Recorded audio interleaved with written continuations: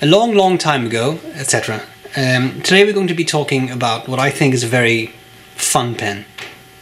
Uh, and I, I, I saw these were coming out. This is actually, I think, the second wave of pens that Cross has made that are Star Wars themed. Uh, these are fairly expensive. There's also the Sheaffer pops that have a Star Wars theme. Those are a lot more affordable. Uh, but these are based on the Townsend model. They have a gold nib. Uh, and they are limited. They are more expensive. Uh, so I mean, just just so that people know, because I, am sure a lot of people have seen the the pops, and I thought this was one of the pops when I put it on my Instagram account, but it's it's not. Those are very different different pens. I bought this one at Appelboom because I asked Joost to hunt me uh, down, hunt me one down, hunt hunt one down for me. Um, because I have a bit of a, a thing for the, this particular Star Wars character. So there was a Darth Vader pen, there was a C3PO pen, there was you know all that stuff. They're all cool, but I think this one is the best. And today we're going to be talking about that one. Um, so what we're talking about is the Boba Fett pen. Boba Fett, bounty hunter from Star Wars. If you haven't, if you don't know who he is, that's okay. It's perfectly fine. We're just going to geek out a bit for those of us who do know who he was. All right. Here's the pen. He is neat, but first let's have a look at the box uh, because it's it's it's supposed to be a bit of a collector's uh, uh, thing. So when you open the box, be careful you don't tear it. He's no good to me, dead. Um, open it up. It's actually a pretty neat box. First thing that comes out is this box. Tiny box. I think, or maybe a bottle of ink. No, uh, it's a uh, tiny stand for the pen, which I think is pretty cool. Comes with its own stand. I've actually been using it. Just put it on the desk, put the pen on it. Uh, it says Star Wars on one side, and it says cross on the other side and it's very simple you just it has a groove you just put the pen on it and just put it on your desk so it's not necessarily the most stable thing but it, it if you just have it stationary on a desk it does work and it's actually fairly heavy so you could even use it as a paperweight or something that's the tiny box then there is the box of the pen cross box uh, it's uh, this does not appear to be Star Wars themed on the outside, just like the other box. The box pops open, and then there is some stuff in there. All right, take that out. There is a little uh, sort of card. I'm guessing they're trying to make something a bit collectible uh, on on Boba Fett on the character, uh, which which gives interesting details like a genetic clone of his father, bounty hunter Jango Fett. Boba learned combat and martial skills from a young age, etc. So it's it's no, it, they kind of tie into the the character. Uh, then there is uh, this. Uh, which is a certificate of authenticity uh, with the number of the pen filled out by hand, uh, which uh, is definitely interesting. And I just checked, yes, it is indeed the number that's also on the pen, uh, so that's uh, that's always nice. and then we have this package, which kind of folds open. It's a, a cross, I guess, standard cross booklet just trying to open this up to an interesting page with, with filling instructions and kind of the, the, the usual, usual jazz, so to speak, that you would, would get in these types of pens. Okay, uh, then the, the little um, uh, pen bed uh, in the box lifts up. There is cartridge, uh, and there was, there was also a converter which had its own little uh, cardboard sleeve. So it's it's uh, a very interesting package. Now, uh, there's even a, a, little thing that a little bed that keeps the pen in place because being collector's pieces, um, what if he doesn't survive? It's worth a lot to me. So you know, it's it's those kinds of things uh, that, that I think they that really show that they, they have geared this towards collectors and, and let's face it, Star Wars collecting is is huge. So they have it. I'm going to cover the parts of the pen, I tell you what I like about it, what I don't like about it, and then we will do a writing sample. Now, a lot of detail went into this pen, and this is this is for the nerds. I'm one of them. Okay, so we have to go through every little bit, and we're gonna see how far we get before some people have been bored to death. Top of the pen, the finial.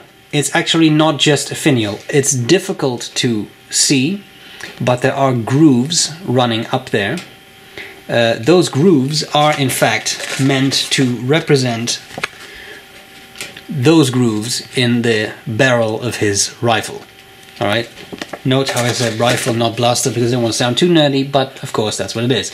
So they actually put that in, and it even has an opening, so it's it's almost like a, a rifle barrel, which I think is pretty cool. It has the number on there. Of course, they are limited to 1977 pence because that was the year the original Star Wars came out. This is number 191. The cap is modeled after the T-shaped visor of Boba Fett's helmet. I will show you this card again, how very useful. So you can see that in his helmet, you have that T-shape. You also have that T-shape here with the, uh, the, the, red uh, rims around it. These yellow dots are also on his helmet, um, which you cannot really see here. Well, actually, you can a little bit on, on that side, but it's very reflective and it's not easy to see. But trust me, they're on there. Uh, so that's the the yellow uh, dashes. There is sort of battle damage they made, so there are dents and, and dings uh, which you can't see very well uh, in on the video, I think, but they're there. Of course, there's a standard clip uh, which is neatly made into the, the, the the the descender of the the T. Here you have a a Mandalorian skull. we officially should call that the kyr'bes um, that's on his shoulder pad there, so they put that in too, which I think is kind of neat. This is on the back of his helmet, but I don't have a picture to show you. You'll have to look that up online. And of course, it says Star Wars because if it's a Star Wars product, you have to brand it somehow, right? And here's some of those those dents. And I think that's one of the cool things of Boba Fett. He barely says says anything during the movies. But you see, there's a big dent in his helmet there. It's, his armor has definitely been through a lot, so it's interesting. A lot more is suggested than is actually shown in the movie, and I think that's why he's so popular. Okay, here we have the center band, a bit of yellow in there, and then here you have some uh, uh, red lines, which is actually sort of a belt he wears, and you I, I don't think that's in any of the, uh, the, the packaging material. But again, look it up online; it's there. The rest of the barrel. This is the uh, the the front of his armor, uh, which I also can't really show you, but his his chest armor has has that thing on it, uh, and then here, in relief, is right there on, on the back is his jetpack which you can also see on this picture. Man, it's useful of them to supply this. So that, that thing and this is all on the back of the barrel, which I think is very cool. Then here, this is not uh, grooved, it's just a little end cap and, and that's all there's to it. Very tight capping mechanism, very interesting. Simple section, uh, just uh, um, tapers down and then flares out in a little sort of gold colored ring. And then you have the nib. Uh, the nib is in fact solid gold. Uh, it is an 18K nib. Uh, and it has absolutely no Boba Fett references on it. So it is just a nib. Um, as I understand it, these nibs are made by Pelikan. They do have some sort of scroll line work on it that I, I do kind of associate with Pelikan. Uh, and I will say it was a very, very smooth nib out of the box. And for me, it was fine. Aziza had some issues with it because of the way she holds the pen, the angle at which she holds it. For me, it was it was actually fine, which is interesting because usually for us it's the other way around. Okay, barrel unscrews. You can use cartridges or converters as you wish. Um, so standard cross converter supplied with the pen uh, works well, draws up ink, doesn't I mean does everything it's supposed to do. And there you have it. The only quote I can't put in here somewhere is put Captain Solo in the cargo hold. But in the same series there is a Chewbacca pen and there is a Han Solo pen and it's Han Solo in carbonite. So I guess if you buy that pen you could slip it in the box and put him in the cargo hold. They have it. Interesting pen, long and thin. So let's talk about what I like about it, what I don't like about it. What do I like about it? It's the Fett. What else can you say? I mean, if you if you're uh, into that character, it's awesome, especially because there is so much detail on the pen, and I really commend Cross for that because they really put effort into that. I I could I was afraid they would only do this this shape and leave the rest out, but the fact that it has the jetpack, it has the, the sort of the, the, the barrel of the, the rifle, uh, there's a lot in there, which I think is very cool. Uh, very complete package. especially for collectors. I'm not really a collector. I just I just enjoy Boba Fett. So, but I mean, it's neat that you get the little the little card with the information. Uh, you get the desk stand, which I think is very cool. That makes it a very collectible uh, thing that you can put down. Um, and the best thing for me is it actually writes. The nib is very smooth and very pleasant. Uh, it's a medium nib. You have fine or medium. There's nothing else available. This is a medium, uh, but again, out of the box, very very good writer. So that was definitely very interesting. Things I don't like so much. Uh, it's a skinny pen. That's just because the model I picked. The Townsend is a, a fairly long but fairly skinny pen. So it's I prefer a pen with a bit more girth. So that to me is not optimal, but I, have actually been using it quite a bit and I did find it pretty comfortable, even for longer writing sessions. So I was pleasantly surprised by that. Um, it doesn't come with the Sarlacc Pit inkwell. That is, of course, that would be the ultimate accessory to sort of dip your pen into or a stand in that shape, but I guess that would make it a little bit too elaborate. I think the biggest issue is uh, uh, it's not cheap. Five hundred seventy-five dollars. Uh, that's uh, that's a lot, and you don't get a piston filler. You do get a gold nib pen. It does write well. It is highly detailed, but uh, it's not cheap. Let's face it. It's very simple. So complete package, limited edition, notwithstanding. Uh, these are expensive pens, and that's just the way it is. Okay, so, Joost, thank you for hunting this down for me. I appreciate it because I was kind of looking forward to having one of these, and now I do. Um, that was that was very awesome. Um, measurements of the pen, as well as high resolution pictures, will be on the website sbrebrown.com. I hope this was useful so far. Let's see how the pen writes.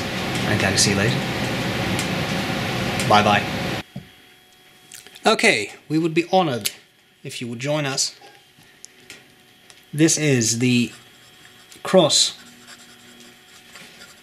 Star Wars Boba Fett. Uh, the nib is a medium. The ink is SBRE brown.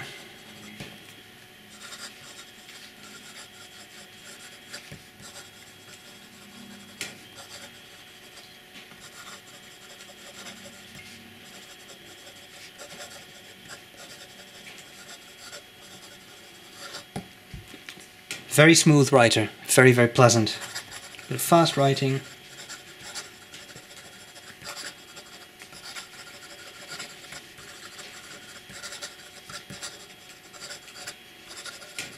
One skip there, but I don't think that's too terrible. As to wetness,